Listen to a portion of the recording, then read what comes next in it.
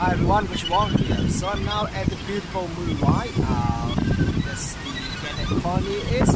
And I just want to um, quickly show you how to do a long exposure shot easily using the Huawei Mate 10. So this is my setup. I have my Mate 10 which is locked onto my Gorilla Pod.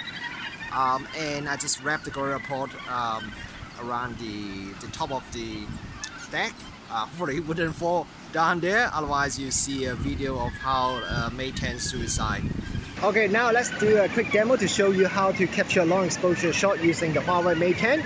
So the first thing you have to do is that you have to go to the uh, camera setting menu and switch to the light painting mode which is this one and next make sure you're in the silky water mode if you want to cap capture the silky water uh, photo now then you can start press the record button and it will start taking the long exposure photo.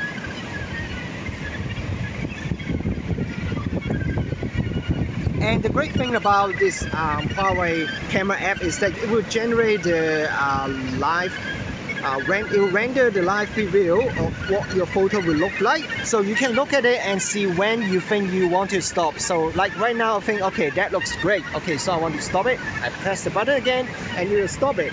And um, there's some tricks uh, when you're doing long exposure shot using the phone because when you press on the phone it will cause the phone to move vibrate a little bit. And what it means is that in your final photo it's quite likely it will cause a little blur in the photo. And you want to avoid it and there are two ways to avoid it. The first thing is that you can go to the camera settings screen you swipe to the left and then you can go to the timer and then you can turn to um, you can turn on the timer maybe 2 second 5 second or 10 seconds. And what it means is that when you press the shutter button, you have two second timer and so that it would, um, your, your pressing the button wouldn't cause any vibration. And when you finish, you press it and gently, so hopefully it wouldn't cause any vibration at all. So the second way is that you can use a headphone earphone and connect it to your your Huawei Mate 10. It can be a wireless one or it can be a wired one. So right now I have my Sennheiser Bluetooth headset with me uh, and it's connected to the phone. And what I can do is that I can just quickly press the um, Okay, first thing is that I need to turn off the timer mode because I don't need the timer anymore. So I turn it off. Okay, and now what I can do is that I can just press this button and that will cause the camera to start taking the long exposure photo exposure photo.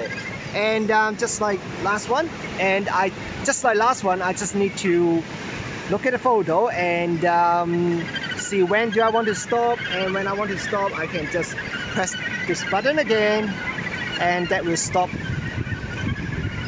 the long exposure so the two great things about using the Huawei Mate 10 to do the long exposure shot. The first thing is that you don't have to bring any ND filter to make sure it doesn't overexpose the photo. And the second thing is that unlike using a normal camera to do a long exposure shot where you have to predetermine how long your exposure is and therefore calculate what is your uh, aperture, what is the ISO and everything to make sure the, the total exposure is alright. When using um, this phone to take long exposure shot, the camera will automatically adjust the exposure for you and because basically it's just taking lots of photos and stack them together and then um, apply some smart algorithm to smoothen out the result. Uh, it doesn't really matter how long or how short the total exposure is and the exposure will always be correct.